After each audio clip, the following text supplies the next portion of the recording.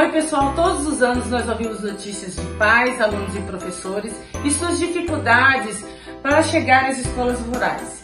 Aqui nós temos um mapa contendo 28 escolas rurais e todas elas nós temos dificuldade do acesso porque elas não são asfaltadas.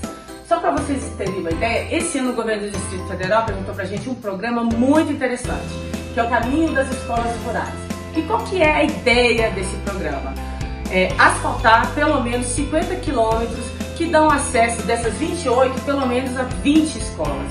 E eu, como parlamentar do Distrito Federal, gostei muito da ideia, gostei do programa e destinei, com as emendas de bancada, com a aprovação da bancada, 10 milhões para que a gente possa né, asfaltar 50 quilômetros, dando acesso a pelo menos 20 escolas e as primeiras que serão beneficiadas com essas emendas, com esse programa, será a escola classe Lobeiral, que é na FECAL, e a escola classe Santa Helena e Sobradinho 1. O critério de seleção nesse primeiro momento foi do governo do Distrito Federal, claro, com o apoio de todos nós, mas vocês podem ter certeza que eu vou estar fiscalizando, acompanhando o andamento dessas obras, porque eu sei que é muito importante para a comunidade, para as famílias, mas acima de tudo para os nossos jovens, tá? Então continuem acompanhando o nosso mandato e a gente vai se falando por aqui. Beijo pra vocês.